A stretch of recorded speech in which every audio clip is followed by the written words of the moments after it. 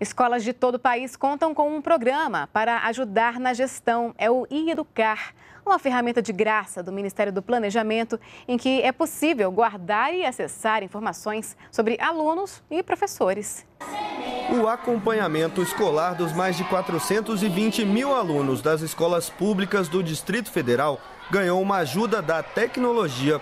Aqui foi implantado um sistema informatizado chamado e-Educar que centraliza as informações de todos os alunos das mais de 650 escolas. Com todas as informações reunidas num único banco de dados, ficou mais fácil planejar as ações para toda a rede pública de ensino e acompanhar o que está acontecendo em cada uma das escolas por estar toda a rede num banco único, a central ela consegue fazer uma verificação em cada escola, quantidade de turmas abertas, quantidade de alunos, quantidade inclusive de professor, né?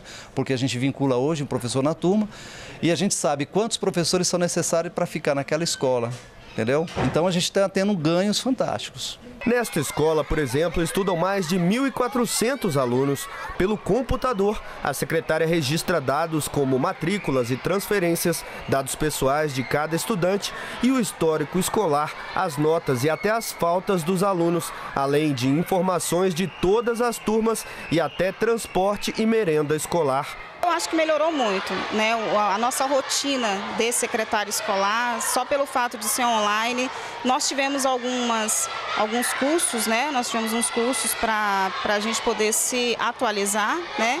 E a gente está tendo um acesso. E o sistema que permitiu os avanços na gestão educacional é público, disponibilizado gratuitamente no portal do software público brasileiro do Ministério do Planejamento. O uso do e-educar, no caso do Distrito Federal, gerou uma economia de mais de 90 milhões de reais para os cofres públicos. Para o governo federal, isso vem contribuindo para dar mais eficiência nos gastos e melhorar a administração pública em todo o país.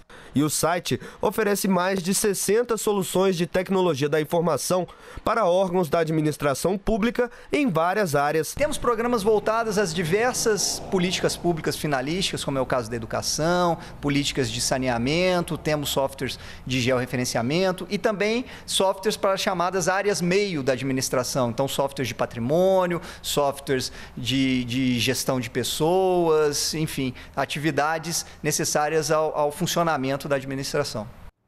O portal e-educar pode ser acessado no endereço que aparece na sua tela.